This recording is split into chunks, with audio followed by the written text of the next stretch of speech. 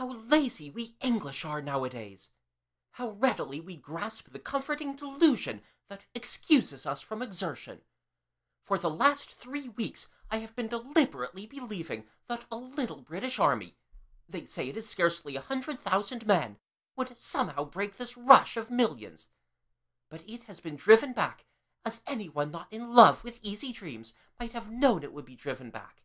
Here, and then here, and then here. It has been fighting night and day.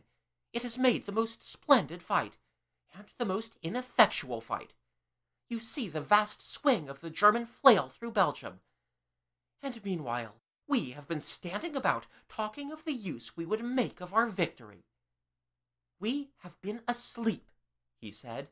This country has been asleep. At the back of our minds, he went on bitterly, I suppose we thought the French would do the heavy work on land, while we stood by at sea. So far as we thought at all. We're so temperate-minded. We're so full of qualifications and discretions and so leisurely. Well, France is down. We've got to fight for France now over the ruins of Paris. Because you and I, Manning, didn't grasp the scale of it. Because we indulged in generalizations when we ought to have been drilling and working. Because we've been doing business as usual and all the rest of that sort of thing, while Western civilization has been in its death agony.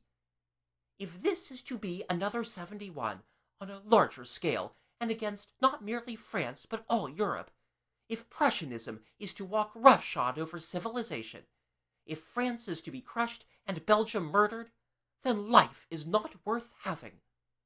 Compared with such an issue as that, no other issue, no other interest matters. Yet what are we doing to decide?